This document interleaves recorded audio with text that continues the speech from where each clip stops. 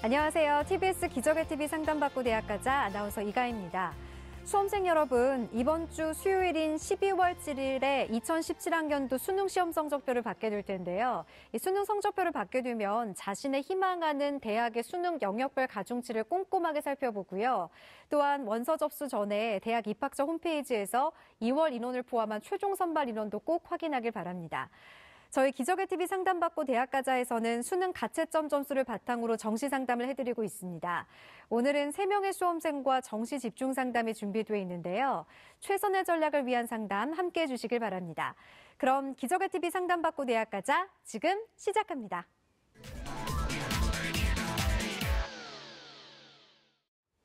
기적의 TV 상담받고 대학 가자 오늘도 학생들을 위한 진학 상담 이어가 볼 텐데요.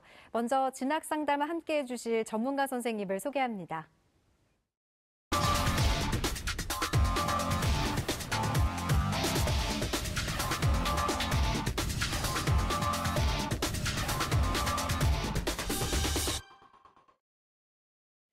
수험생들에게 결정적 코치를 해주실 분이죠. 열정적인 카리스마로 진학 지도를 해주시는 멘토십니다. 영동고등학교 윤상현 선생님 함께합니다. 안녕하세요. 안녕하세요. 영동고등학교 교사 윤상현입니다. 자, 이제 정시는 수시와 좀 달라서 그 학생들이 지원을 할 때 점수에 맞춰서 좀 지원하려는 경향이 있습니다. 그렇게 이제 점수에 맞춰서 지원하다 보면 본래 이제 우리 학생들이 생각했던 학과라든가 이런 부분들은 또 전공, 뭐 직업 이런 부분들은 조금 이렇게 놓쳐지게 되고 후순위로 밀리게 되고요. 그냥 점수에 맞춰서 아무 학과나 이렇게 지원하려는 경향이 있습니다. 음. 그렇게 되다 보니까 이후에 이제 우리 학생들이 좀 그 고민을 해야 될 부분이 물론 이제 대학 진학 후에 뭐 복수 전공이라든가 또는 어떤 그 학과의 변경 이런 걸 통해서 자기가 원하는 전공을 찾아갈 수도 있겠지만 그래도 이제 일전공 선택이 무엇보다도 중요한데 원하지 않는 전공을 선택해서 원하지 않는 어떤 그 직업의 세계로 나아갈 수도 있다라는 점, 그거 굉장히 위험하거든요. 그래서 아무리 맞춰서 이제 점수에 맞춰서 어떤 지원 전략을 세우는 건 뭐 기본이 되겠지만 그래도 그 안에서 분명히 본인이 하고 싶은 또 감당할 수 있는 그런 어떤 전공을 선택하는 그런 좀 지혜가 있어야 되지 않을까 생각합니다. 네. 그리고 대입 합격을 위한 최선의 전략을 짜주실 전문가 두 분 모셨습니다. 먼저 통찰력 있는 분석과 긍정적인 에너지로 최선의 전략을 세워주는 분이십니다.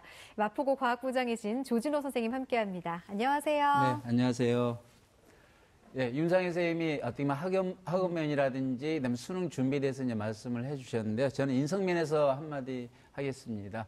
대부분 학생들이 이제 어, 기말고사 끝나고 시간적 여유가 있는데 이 시점에서 제일 좋은 게 학생들이 하고 싶은 취미 활동을 했으면 좋지 않을까. 그래서 음. 저는 그냥 하지 말고 하루에 한 두 시간 정도 자기 자신에 대해서 투자할 수 있는 그래서 운동이라든지 뭐 악기를 다뤄본다든지 그래서 제가 학교에서 가장 많이 하는 어, 이야기 중에 하나가 어, 공대생, 자연계에 가는 학생들한테 기타라든지 악기를 꼭 배우라고 합니다. 그래서 기타 치는 공대생 그럼 되게 멋있거든요. 네. 그래서 네. 암만해도 인간 에 가까운 휴머니즘 쪽에 어, 부품이라든지 기계라든지 물건을 만든다 그러면은 아마도 그런 부분이 꼭 필요하다고 덤으로 음. 시간이 남은다면은 본인이 지원하고 싶은 관련된 학과에 관련된 독서를 꼭 추천을 합니다. 네.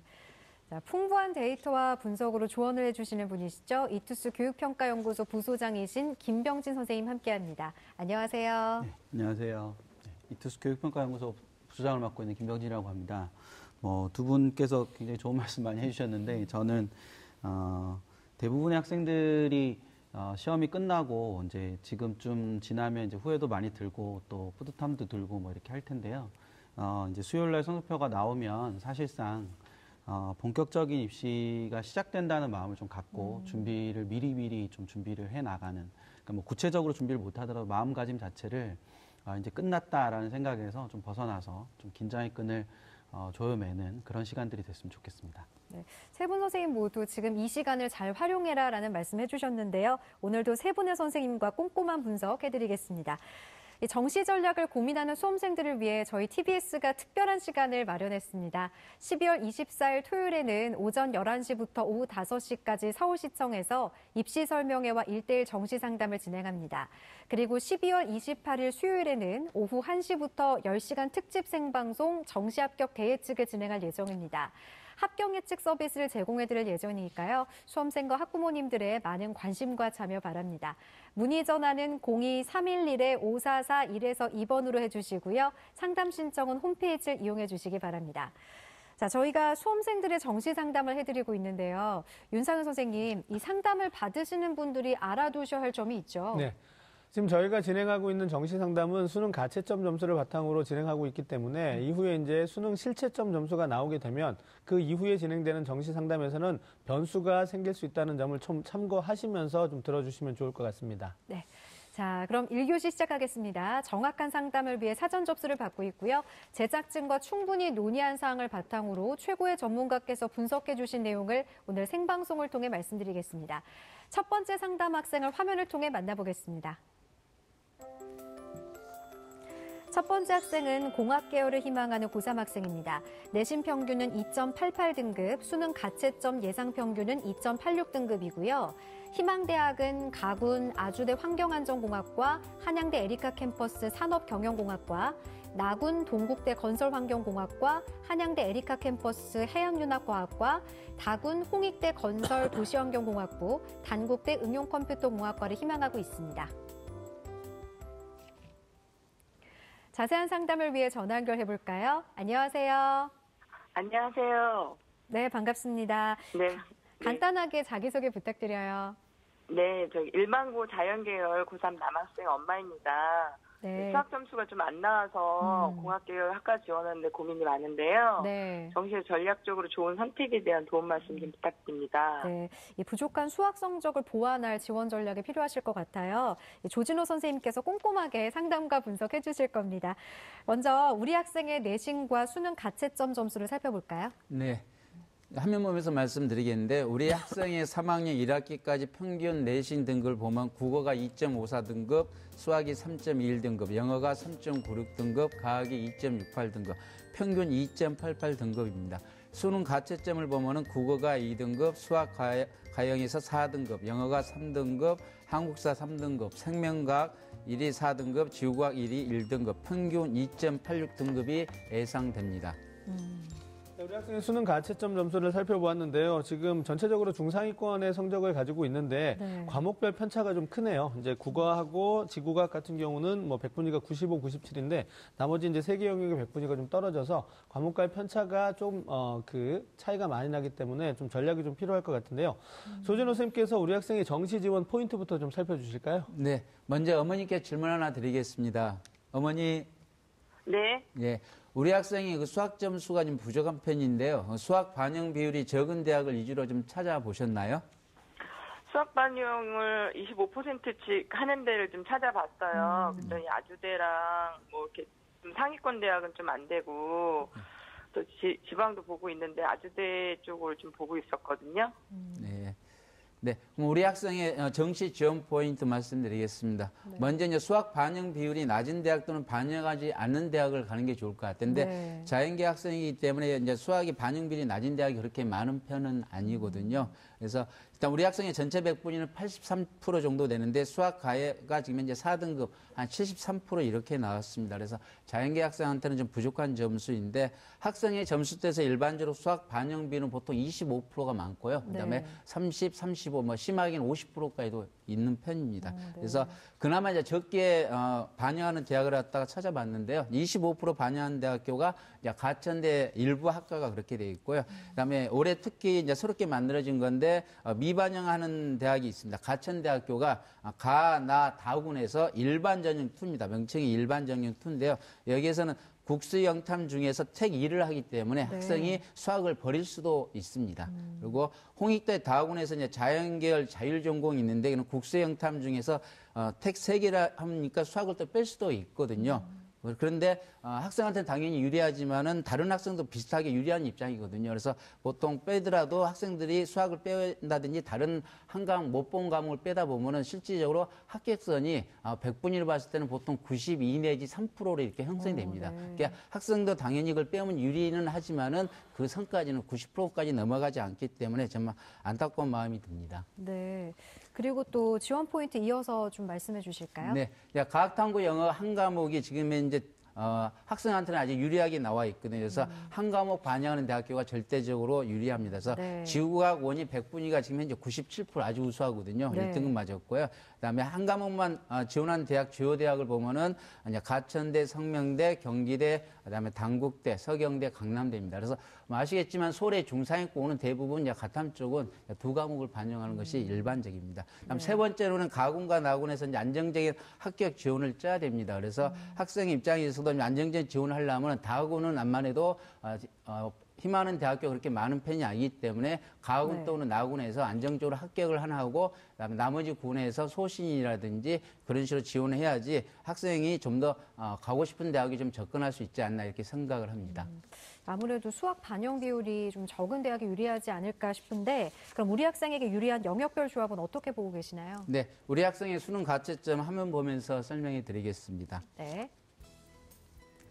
네, 우리 학생의 어, 점수 분포를 어, 학생이 희망하는 대학하고 같이 조합해서 이렇게 만들어 봤습니다. 그래서 어, 조합이 방법이 여러 가지입니다. 실제 조합하면 가지수 한 40가지 정도 나오거든요. 대학교별로 네. 다 따지면요. 그 중에서 이제 학생한테 그나마 이제 유리한 쪽 봤더니 어, 국수형탐을 같은 비율로 25, 25로 반영하는 데인데 학생이 눈높이는 안 맞을 수도 있습니다. 이제 동아대, 온강대, 그다음에 백분위로는 당국대, 천왕, 영남대 쪽이고요. 그다음에 국수형탐을 20, 30, 25, 25로 한 데가 어, 그다음 두 번째로 점수가 높습니다. 그래서 학생이 좀 관심 있는 아주대라든지 동국대, 그다음에 단대, 죽전 캠퍼스 이렇게 되고요. 세 번째가 어, 20, 30 아니면 수학이 좀 많이 반영이 되는 거죠. 네. 이제 한양대, 에리카, 그다음에 단국대, 천안. 앞에다 단대, 천안이 나오는데 단국대, 천안은 학과에 따라서 반영 비율이 좀씩 다릅니다. 그다음에 가천대학교가 있고요. 그다음 네 번째로는 이제 어, 국수형탐인데 학생이 또 가운데를 생각을 했더라고요. 그래서 그건 이제 네 번째 순위가 돼서 암만 해도 이제 학생한테는 같은 비율로 적용하는 것이 지금 현재는 제일 유리하는 편입니다. 저희가 이제 정시 상담을 진행하면서 이제 선생님들께서 우리 수험생들이 희망하는 그 대학들에 대해서 어, 평가를 내려주실 겁니다. 뭐 정시 때 이제 어, 상향이라든가 적전이라든가 이제 안정이라는 이 세 가지 용어를 사용할 텐데 이 용어에 대해서 좀 간단하게 설명을 드리자면 저희가 이제 상향이라고 판단을 내릴 때는 어, 학생의 취득 성적으로 본 그 합격 가능성이 높지 않거나 다소 이제 지원에 무리가 있다라고 판단이 되면 저희가 이제 상향이라고 판단을 내릴 거고요. 네. 그다음에 이제 어, 학생의 성적이 희망 대학의 학과 또는 요구 성적과 그 일치하거나 좀 비슷한 경우에는 저희가 이제 적정이라는 판단을 내릴 거고 그다음에 학생의 성적이 희망 대학이나 또 희망 학과의 어떤 요구 성적보다 좀 높다라고 그래서 이제 합격 가능성이 높은 경우에는 안정이라는 판단. 그래서 이제 세 가지 용어를 사용할 것이기 때문에 네. 이 점을 좀 참고하시면서 들으시면 아마 더 도움이 되지 않을까 생각합니다. 자, 지금부터는 희망대학의 그 지원 결과를 좀 어, 예측해보는 시간을 갖도록 하겠습니다. 우리 학생이 정시에서 희망하는 대학이 한양대, 에리카, 동국대, 홍국대, 홍익대 등인데요. 희망대학들의 특징과 도전 가능성 살펴봐 주실까요? 네, 먼저 가군부터 살펴보겠습니다. 네. 아주대와 한양대 에리카를 희망하고 있는데 그 중에서 한양대 에리카를 갖다 설명해 드리겠습니다. 화면 보시죠. 자, 한양대 에리카 산업경영공학입니다. 모집 인원이 6명이고요. 경쟁률은 5.5대 1 정도 됐습니다. 전형 여선 수능 100으로 편점수, 그 다음에 탐구 영역은 변환 편점수를 반영합니다. 반영 비율은 국어가 20, 수학과가 35, 수학이 좀 많이 반영하죠. 네. 영어가 25, 탐구 20, 한국사는 응시 여부만 이렇게 판단을 합니다. 그래서 지원 가능 어, 점 성적은 한 483 정도 정도 되고요. 100분위로는 한 81.8% 정도 됩니다. 어, 작년에 모집 인원이 6명이 있고 그다음에 2월 인원은 없이 최종 6명입니다. 제가 2월 인원을 말씀드린 것은 네. 어, 입시라는 것은 어떻게 보면 모집 인원하고 경쟁률에서 많이 좌우가 되거든요. 그래서 다음에 수시에서 2월 된 인원이 어느 정도 되는지도 꼭 확인할 필요가 있습니다. 네. 그다음에 추가 합격률을 봤더니 2016학년 때는 한 79% 정도, 2015학년 때는 한 80% 정도 이렇게 추가 합격이 발생을 했습니다. 그래서 학생의 성적을 갖다가 대학교에 맞춰서 한산해 봤더니 점수가 한 483.8 정도, 예, 플러스 한 0.8 정도 나오거든요. 그래서 적정으로 이렇게 판단을 해 봤습니다. 네. 자, 그럼 나군 이어서 말씀해 주실까요? 네, 나하고는 동국대 건설환경공학과입니다. 모집 인원은 28명이고요. 경쟁률은 어, 4.73대 1이었습니다. 작년에요. 전형 여선 수능 100이고 편입점수 이 학교도 어, 탐구는 변환 편입점수를 갖다 적용하기 때문에 아니 수능 성적으로 나서 보통 아, 12월 어, 말쯤에 대해서 각 대학교별로 편한 어, 편입점수를 바- 어, 발표를 하거든요. 네. 반드시 꼭 체크를 해야 됩니다. 그에 따라서 점수가 1점 내지 2점 정도 플러스가 될 수도 있고 마이너스가 될 수가 있습니다. 그래서 영역별 반영 비율은 국어가 20, 수학과가 30, 영어가 25, 탐구가 25고요. 한국사는 등급별로 가산점 부여하는데 3등급까지는 가산점 6점이기 때문에 학생은 다 만점을 다 가져갑니다. 그래서 지원 가능 성적은 편점수로는 491점 정도, 100분위로는 한 85% 정도 되는데요. 아, 작년과 좀 다른 게 아, 작년에 비해서 영어비, 영어가 반영 비율이 5%가 낮아졌고 탕구 비율은 5% 정도 증가했습니다. 네. 학생한테 유리하거든요. 학생이 탕구 영역이 좋기 때문에 그래서 학생의 편점수를 한 그게 공식에 맞춰서 한번 변환을 시켜봤더니 플러스 1.2점 정도 더 올라가더라고요. 그래서 학생의 대학별로 어, 맞춰서 점수를 계산해 봤더니 485.6이 나와서 지금 현재 점수로는 한 5점 정도, 5.4점 정도 좀 부족합니다. 그래서 상향으로 이렇게 판단을 했습니다. 네. 예. 자, 우리 학생이 희망하고 있었던 한양대 에리카 캠퍼스와 동국대의 어떤 그 어, 특징과 합격 가능성을 살펴주셨는데요. 이제 적정과 상향이라는 진단을 해주셨는데 그렇다면 이제 우리 학생을 위한 추천 대학과 학과에 대해서 좀 조언을 해주실까요? 네, 화면 보면서 말씀드리겠습니다. 우리 학생의 정시 추천 대학은요. 어, 가군에는 어, 상향으로는 동국대 건축공학부, 적정으로는 한양대 에리카 산업경영공학, 아주대 그다음 안정으로는 가천대 컴퓨터 공학 일반 전형 two입니다. 그다음 나군으로는 상향으로는 동국대 건설환경, 적정으로는 한양대 에리카 해양융합, 단, 어, 단국대 죽전 기계공학과고요. 안정으로는 가천대 소프트웨어 일반 전형 two입니다. 다군으로는 상향에 홍익대 건설 도시환경, 강원대 환경공학, 적정으로는 아, 단국대 토목환경, 운영 컴퓨터학과고요. 안정으로는 가천대 설비 소방과학과 일반 전형 투로 이렇게 내다봤습니다. 네. 그러면 추천 대학 중에 자세히 살펴볼 대학은 어떤 대학인가요? 네, 네, 가옥원의 동국대 건축공학부를 살펴보겠습니다. 네. 한번 보면서 이렇게 말씀드리겠는데요. 모집 인원은 36명입니다. 경쟁률은 작년에 5.95대 1이고요. 수능 100 편점 수고 그 다음에 변환 편점수 탐구 영역 반영합니다. 반영 비율은 20, 30, 25, 25고요. 한국사는 등급별로 가산점을 부여하 똑같습니다. 그래서 지원 예상 점수는 490점 이 정도 되고요. 그다음에 학생의 대학 한산 점수로 해봤더니 한 485.6이 나옵니다. 그래서 지금 현재보다는 한 4점 정도, 4.5점 정도 이렇게 부족해서 상향으로 이렇게 진단을 했습니다. 참고로 이제 대학교에서 제공한 성적을 보면요, 네. 어, 100분위로 이제 어, 공지를 했는데 지금 현재 학생의 성적이 한 82% 정도 되거든요. 최근 어, 3년치의 100분위를 제공한 걸 봤는데 어, 100분위가 보통 83에서 84 정도. 예, 지금 현재 성적보다는 한 1, 2% 정도가 약간 부족한 형편입니다. 네. 그러면 나구는 어떤 대학을 살펴보면 좋을까요? 네, 이제 한양대 에리카 해양융합공학과를 살펴보겠습니다. 9명 모집을 하고요. 어, 이, 어, 경쟁률이 9.44대 1이었습니다. 수능 100이고 그다음에 편점수 이 학교도 변환 편점수를 탐구 영역에 반영을 합니다. 네. 그다음에 반영 비율은 국어 20, 수학 과가 35, 영어 25, 탐구 20이고요. 그다음에 편점수로 483점 정도가 지원 가능 성적으로 이렇게 봤습니다. 그래서 지금 현재 어, 약간 달라진 것은 작년에 그냥 과학기술대학인데 모집 네. 단위 명이 바뀌었습니다. 과학기술 융합대학으로 이렇게 바뀌었고요. 어, 한양대 에리카의 대학 한산 점수로 계산해 봤더니 편 점수가 약 483.8이 돼서 지금 현재 학생 점수로는 아, 플러스 0.8 정도 돼서 제가 적정 대학으로 이 대학교를 추천해 봤습니다. 그래서 대학교에서 제공한 어, 성적 자료가 있는데 어, 100분위를 봤을 때 지금 현재 학생이 한 81.5% 정도 되거든요. 그래서 네. 그 대학교에서 제공한 100분위로는 한 81.3, 그다음 2015학년 때는 79.2로 이렇게 일단 공지를 했더라고요. 그래서 이 학교는 적정으로 진단해 봤습니다. 네. 어머님 잘 듣고 계시죠? 네네. 혹시 더 궁금한 점 있으신가요?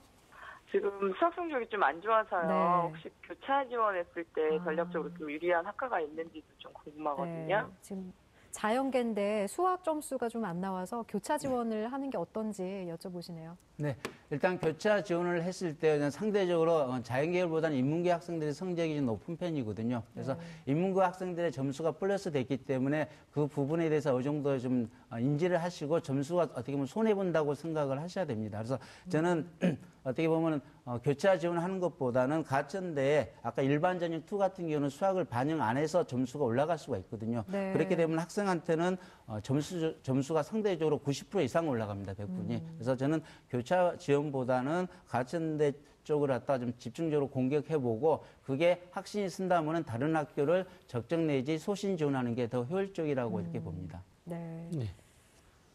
자, 우리 학생이 지금 점수가 고르지 않습니다. 영역별로 고르지 않기 때문에 우리 학생 같은 경우는 단순한 그 종- 어, 총합, 총합으로 이제 지원 전략을 세워선 절대 안 되고요. 영역별 그 반영 비율을 고려한 대학별 환산 점수를 반드시 고려해서 그것과 비교를 해야 된다는 점을 좀 말씀을 드리고 싶고요. 그다음에 우리 학생 같은 경우 가나다군에서 이제 군별 조합을 할 겁니다. 뭐 상향을 하나, 안정을 두 개, 또는 뭐 상향을 두 개, 안정을 하나 이런 식으로 조합을 할 텐데 그렇게 조합을 할 때 한 정도의 어떤 세트만 만들어 놓지 마시고 한 두 개에서 세 개 정도의 세트를 좀 만들어 놓으신 다음에 이후에 어떤 변화되는 부분을 좀 살폈으면 좋겠고요. 상향 지원을 한다라고 했을 때그 상향 지원은 단순하게 무리해서 지원을 하는 부분이 아닙니다. 추가 합격을 노리는 상향 지원이기 때문에 가군과 나군에서 우리 학생의 성적대에서 전체 배치표를 잘 보시면 가군에서 상향 지원을 하는 게 유리한지 나군에서 상향 지원을 하는 게 유리한지 이런 부분이 좀 보일 수 있습니다. 그래서 상향 지원을 했을 때 추합의 비율이 가능성이 좀 높은 그 군에서 상향 지원을 하는 것이 전략적으로 합격 가능성을 좀 높이는 길이라고 생각합니다. 전 윤상 선생님 말씀 중에 추가 합격을 노린 상향 지원이 네네. 중요하다 이 말씀이 좀 중요한 것 같아요. 네. 무조건 높여서 하는 것보다는 자 우리 어머님 오늘 상담 받았는데 어떻게 들으셨어요? 예, 좀 헷갈렸던 부분이나 이런 것들 짚어주셔서 많이 네. 도움 됐고요. 그러면은 지금 가, 나나 이런 건 최종적으로 지원되는 성향을 보고서 그때 네. 결정을 해서 지원을 해야 되는 게 현명하겠네요. 네, 네. 아, 오늘 수능 가채점 점수로 상담해드린 내용이니까 수능 성적표가 나오면은 다시 한번 신중하게 전략을 세워보셨으면 좋겠습니다. 자세한 내용은 이메일로도 보내드리니까 좋은 결과 있기를 바랍니다. 오늘 전화 주셔서 고맙습니다. 네, 감사합니다. 네, 첫 번째 상담을 마쳤는데요. 지금까지 상담한 내용 다시 한번 정리해보고 오겠습니다.